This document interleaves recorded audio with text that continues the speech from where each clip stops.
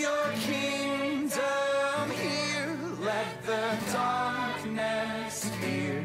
Show your mighty hand. Heal our streets and land. Set your church on fire. Win this nation back.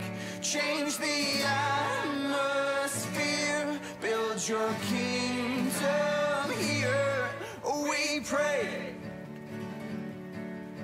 Come set your rule and reign in our hearts again. Increase in us, we pray. Welcome to our thoughts for the day. Unveil why we're made. Come set our hearts ablaze with hope, like wildfire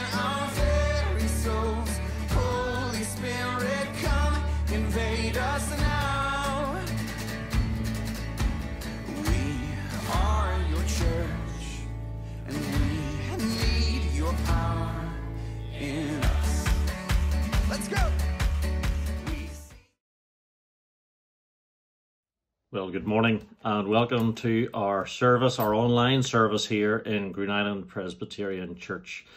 We hope that you know the presence of the Lord wherever you're watching this on your phone, on a train, in your living room, in the kitchen, wherever you find yourself following this service.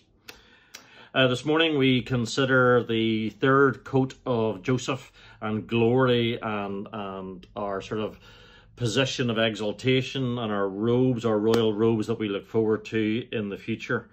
Uh, but that's when we get to be with God. As we move into our service, we want to remember that even though while we're here, that He listens to us, that He leans towards us, uh, that He cares for us, is passionate about us. And so we remember Psalm 116. Says, I love the Lord because He has heard my voice and my pleas for mercy, because he has inclined his ear towards me. Therefore I will call on him as long as I live. In the courts of the house of the Lord, in your midst, O Jerusalem. And so we are in the house of the Lord this morning. What shall we do? Well, it finishes, it says, In the courts of the house of the Lord, in your midst, O Jerusalem, praise the Lord. Let's worship him as he leans towards us uh, to listen to us this morning. Let's praise.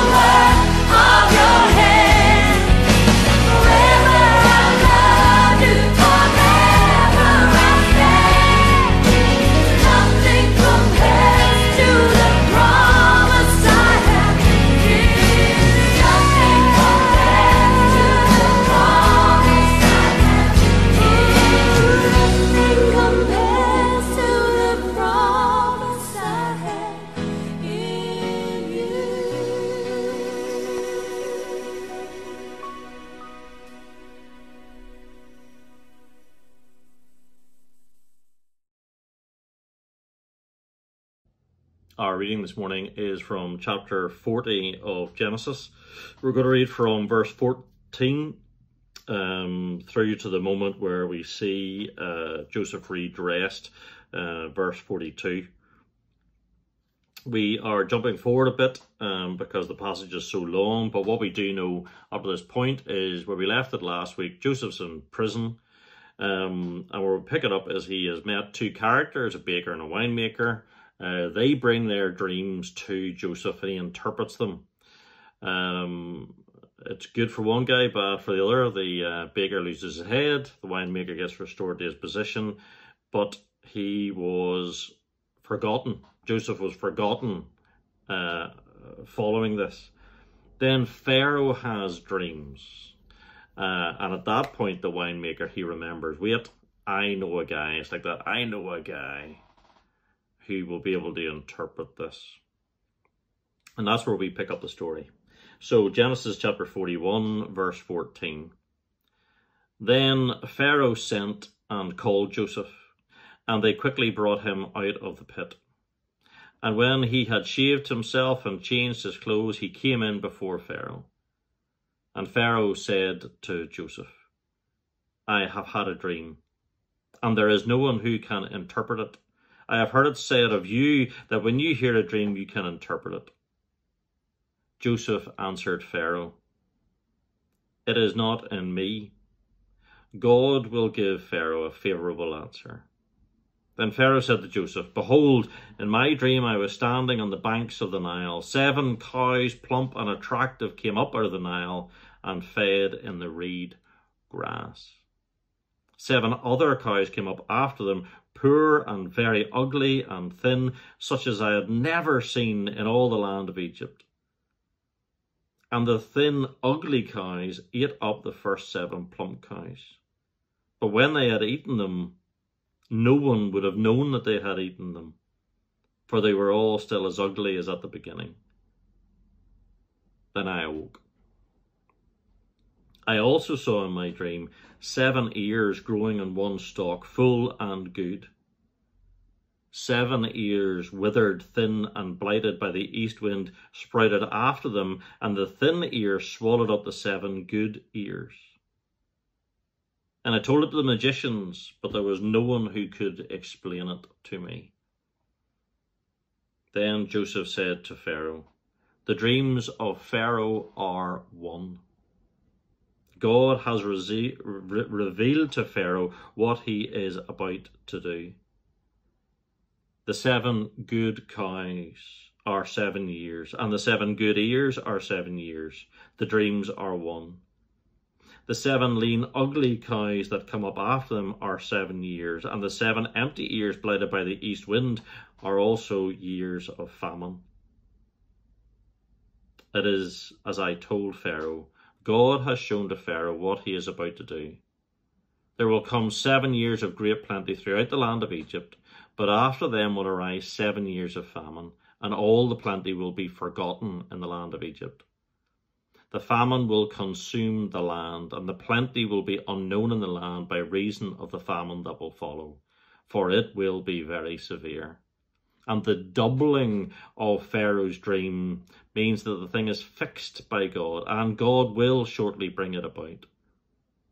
Now, therefore, let Pharaoh select a discerning and wise man, set him over the land of Egypt. Let Pharaoh proceed to appoint overseers over the land and take one fifth of the produce of the land of Egypt during the seven plentiful years, and let them gather all the food of these good years that are coming, and store up grain under the authority of Pharaoh, for food in the cities, and let them keep it. That food shall be a reserve for the land against the seven years of famine that are to occur in the land of Egypt, so the land may not perish through the famine. This proposal pleased Pharaoh and all his servants. And Pharaoh said to his servants, Can we find a man like this, in whom is the Spirit of God? Then Pharaoh said to Joseph, Since God has shown you all this, There is none so discerning and wise as you. You shall be over my house, and all my people shall order themselves as you command. Only as regards the throne will I be greater than you. And Pharaoh said to Joseph, See, I have set you over all the land of Egypt. Then Pharaoh took his signet ring from his hand and put it in Joseph's hand, and clothed him in garments of fine linen, and put a gold chain about his neck. Amen. This is God's word.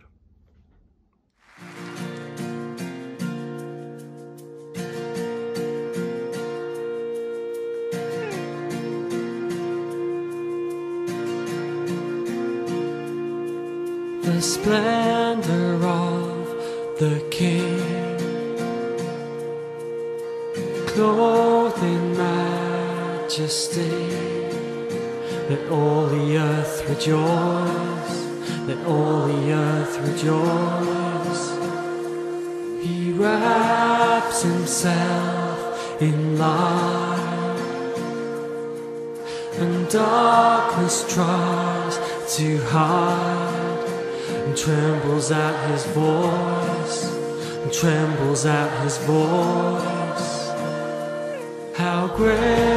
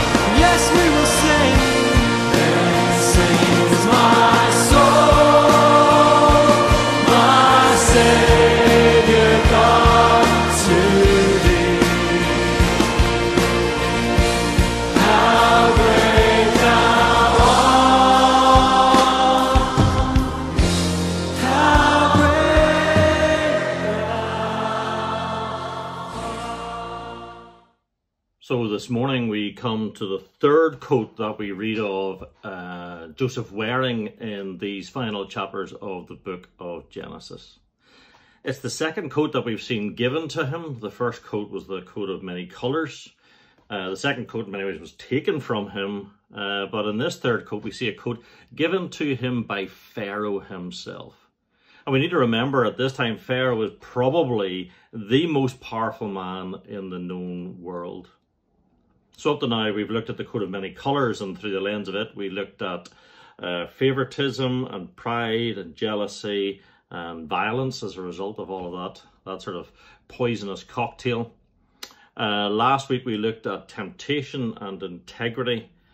Uh, so they're kind of heavy, heavy areas of our life to consider. They can be very difficult at times to consider. So today's a more positive theme. Our hope today is that we will look at glory, that we will look at what we can look forward to, we will look at the hope that we have within us. At this time of year, that sort of question comes up a lot. At the start of July, folks will say to you, Do you hope to get away on your holidays or where do you hope to get to? And then our kids are now inundated with the question Are you looking forward to going back to school? Are you looking forward to going back to school? And I suppose the correct answer is, oh, yes, yes. Whereas I'm sure inside so many of our kids are screaming, they go, no, I don't want to go back to school. And this morning we want to look at something that we have hope for. This morning we want to look at something that we look forward to, and that is glory. But how are how is or how are uh, glory and Joseph's third coat connected to him?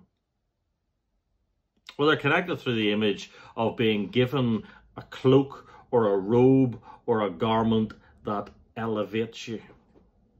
In Joseph's case, he was being elevated to being second in the land, and we're not quite sure the exact remit of that post, but he's he, he's kind of moved pretty quickly.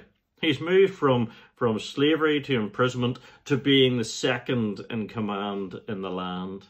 I've seen some jobs and they offer a fast track, a fast track uh, career. You know, you'll get promotion quickly, you'll go to management quickly. But I know of no scenarios that any career can offer me where I'll go from an imprisoned slave to being in the government cabinet as the Secretary of State or whatever. Now we know the story well, and sometimes familiarity can can erode uh, what we read or the attention we pay to what we read. But we know it. So the um, Joseph, we left him last week in prison, and in prison he uh, meets the baker and he meets the uh, the wine steward, and they have dreams, and we know the dreams work out for one and not the other. The wine steward he is restored to his former position and authority, and the baker he loses his head. And there's a great piece of humanity in this passage because, uh, probably like me, once the winemaker is restored to his former position of authority, he kind of forgets who helped him. He forgets what happened to get him there. He forgets Joseph. But then God moves on Pharaoh and gives him two dreams. In fact, the two dreams themselves are the sign that this is unchangeable. These prophecies are going to come about. And it, he, he brings together uh, these pieces through the power of the Holy Spirit. And we see that later on in Pharaoh's statement about Joseph. And we see the, the, the gifting of administration within Joseph being uh, matched up with God's will or the Spirit of God to accelerate this, this promotion, if you will. So, Pharaoh has dreams, two dreams. Plenty being devoured by wastage. And when the baker finally remembers who Joseph was and says, I know a guy who can interpret dreams. Joseph's brought before Pharaoh. And notice that Joseph doesn't say to Pharaoh, I will interpret your dreams. He makes no claim to power or authority here. Rather, he says that God will give the interpretation. And Joseph brings God's word to Pharaoh. But he goes beyond that because what he actually does is he brings the interpretation to Pharaoh and then he actually begins to bring the solution. A course of action. Remember, Joseph is an administrator, an organizer. So his his in his gifting he recognizes what now needs to be done. So he says, Plenty is coming, followed by famine, and here's what you should do. And there's this lovely moment where Pharaoh, you can see him turning to his court, all these, you know, sycophants and everything as that would surround him. And he says to them, Can we find a man like this? In whom is the Spirit of God? Can we find a man like this in whom is the Spirit of God? And the words here used for Spirit of God, it, it, it is Ruach Elohim.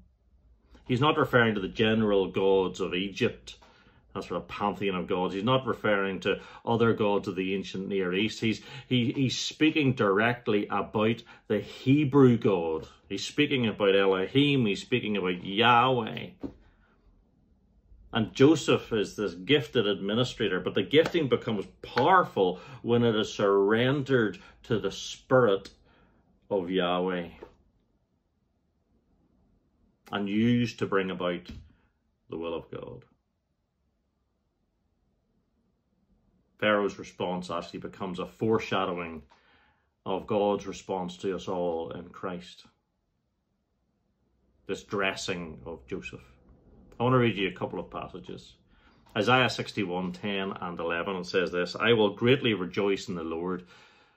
My soul shall, shall exult in my God, for he has clothed me with the garments of salvation. He has covered me with the robes of righteousness. Zechariah sees a vision of Joshua standing before God in filthy rags, and we hear the voice saying, Remove these filthy rags from him. Behold, I have taken away your iniquity from you, and I will clothe you in pure vestments. Revelation 7 9 says, After this I looked, and behold, a great multitude that no one could number, from every nation, from all tribes and peoples and languages, standing before the throne and before the Lamb, clothed in white robes with branches in their hands. What we see in in our passage today, but also in many other passages through Scripture, is this direct connection between being dressed in glory and authority. What we find in Isaiah and Zechariah and Revelation is this connection between being dressed, salvation, and glory.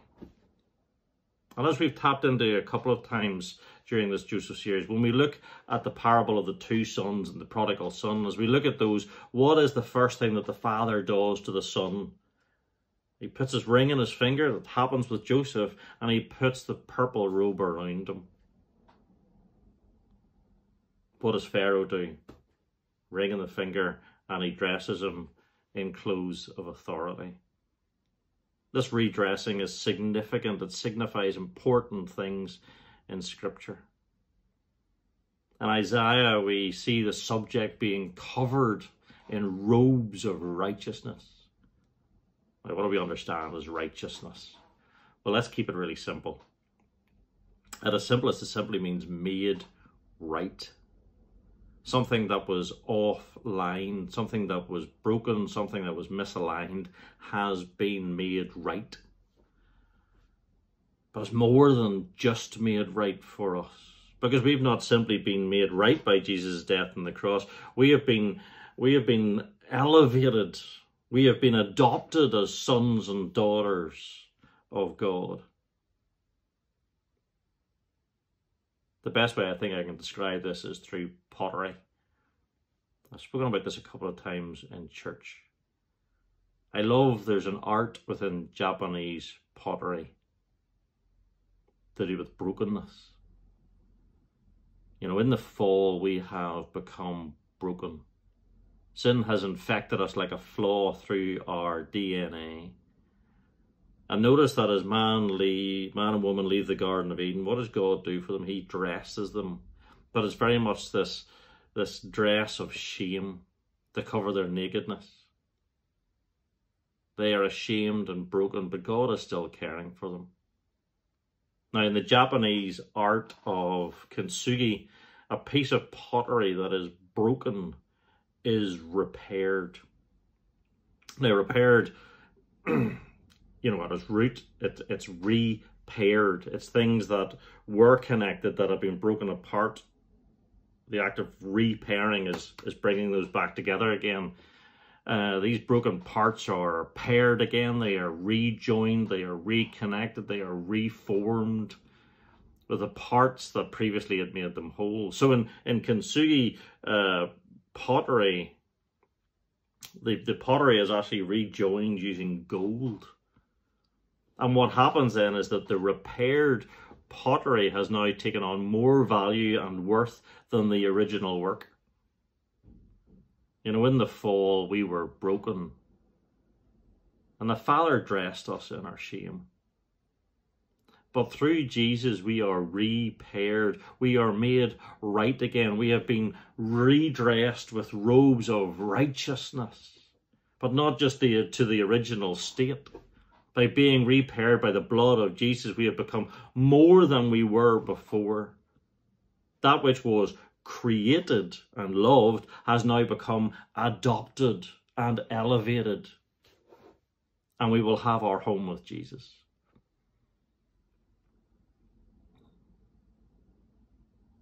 And this is our current state. We are, we have been repaired and we can enjoy the benefits of that both now and in the future the the now and not the now and not yet as we sometimes talk about. But we must no doubt be in no doubt as to how this redressing is taking place. We didn't redress ourselves. We know that joseph didn't dander down to the uh, you know the egyptian linen shop and order up a gown of fine wine, fine white linen, and declare himself to be second in command in the kingdom. The one in higher authority redressed him. It's the same for us. We receive the blessing from God that Jesus bought for us. And we receive it fully as a gift from Him. In Zechariah, we read, you know, uh, remove these filthy rags for him. Notice the active agent is external. Remove these filthy rags from him. Behold, I have taken your iniquity from you, and I will clothe you in pure vestments. It is God who removes his dirty rags. It is God who takes our iniquity away. We don't do this. It is done for us in a glorious, gracious act through Christ. But like all gifts, it has to be accepted. It won't be pushed on us. Our God doesn't force things upon us. In grace, He presents it to us. but be in no doubt that it is Him that does it. It is He who removes our sins. It is He who removes our filthy rags. It is He who takes our iniquity away from us. And thank God He replaces it with pure vestments, with pure robes. And this, with that, we recognize that we have a future hope. We have this future hope that a day is coming when we will, as Revelation says, be together, every people from every place, from every time, from every tribe, from every tongue. And when we are gathered, do you know, do you know what we will all have in common? What does the writer here in Revelation say? It talks about a couple of things that we will have in common. But one of them is how we're dressed. After this I looked, and behold, a great multitude that no one could number from every nation, from all tribes and peoples and languages, standing before the throne and before the Lamb, clothed in white robes and holding branches in their hands. When unpacking part of what our future glory looks like, there's how we are dressed that catches the writer's eye. First Corinthians makes it clear that we will be redressed when we go, go to glory. It says that the mortal shall be replaced by the immortal, the perishable will be replaced by the imperishable. To exist in this place where there is no more death. We have this great redressing hope before us. We have this hope of glory. We have this hope of living in complete connection with Jesus, the Father, and the Spirit. We will be there with the uh, Ruach Elohim. We have this great hope that all that we could not understand or figure out in this life, that it will be revealed to us there. What a glorious future we have. And within that glorious future, we have new clothes.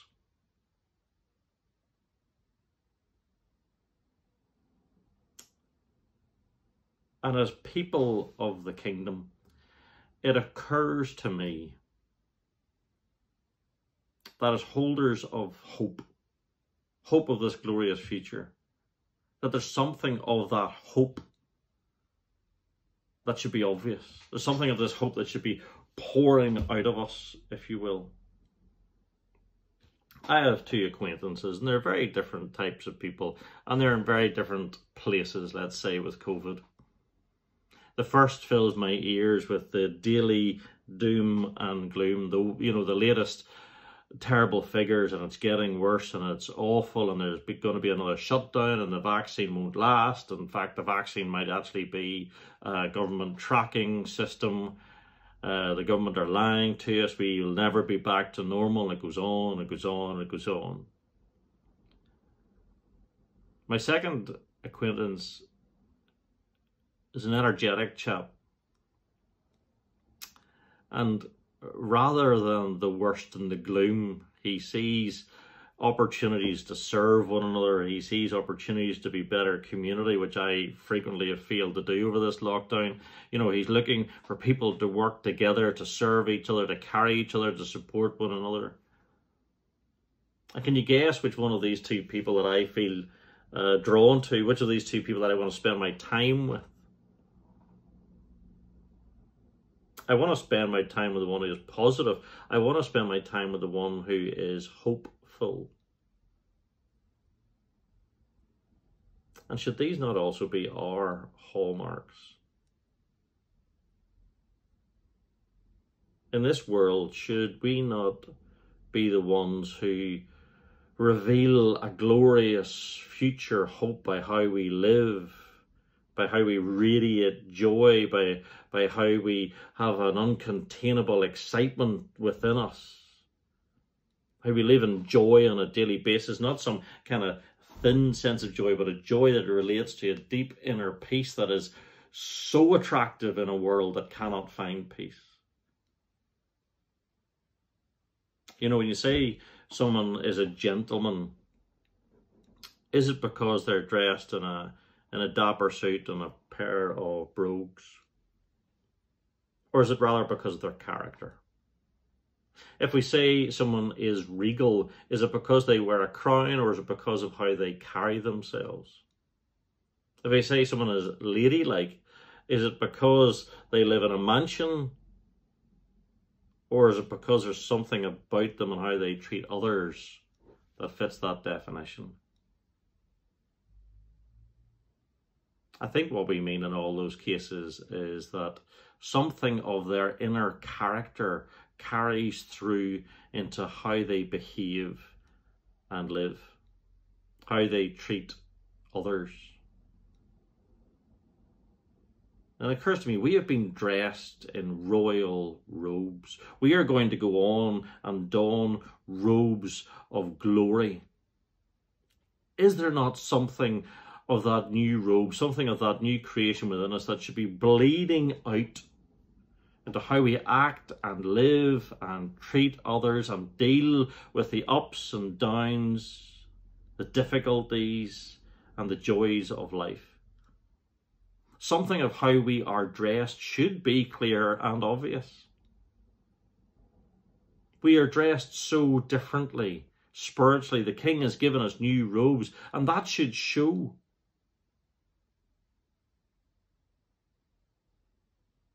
Even in the famous passage from First Peter, where it talks about this hope within us, it finishes by how we behave. It says this, but in your hearts revere Christ as Lord. Always be prepared to give an answer to anyone who asks you to give a reason for the hope that you have, but do this with gentleness and respect. Notice there is this outward aspect even to this great inner hope that we have, treating each other with gentleness and respect. Who I am should be visible in how I live and treat others. So this morning, we consider who we are. We are a people who have been made righteous. We have been made right. And fact, through the blood of Christ, which have repaired us, we are actually more glorious than we were ever before. And we recognize that this is all God's action towards us. And so we come unto Him with thanksgiving and worship he has reached down and He has drawn us up. And He has drawn us up and He has, he has, he has given us a glorious future. We have a great future hope of eternity in the unfettered presence of God. How marvelous is that? We had filthy rags, but they have been exchanged for royal robes which will one day be exchanged for robes of glory.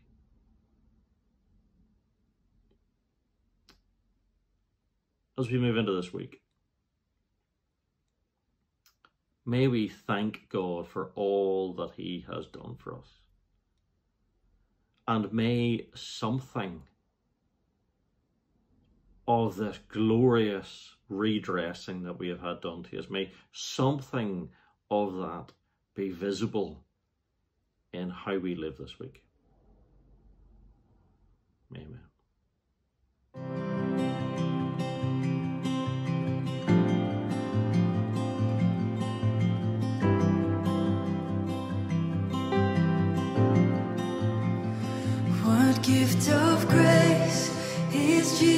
Jesus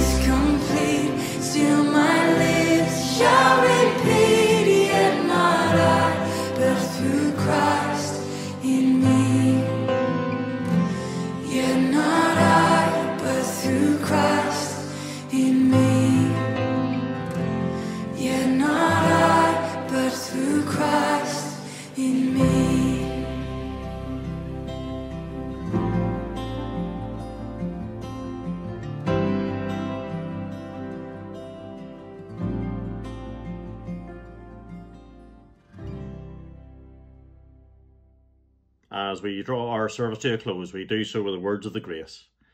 And now may the grace of our Lord Jesus Christ and the love of God and the fellowship of the Holy Spirit be with you now and for evermore. Amen.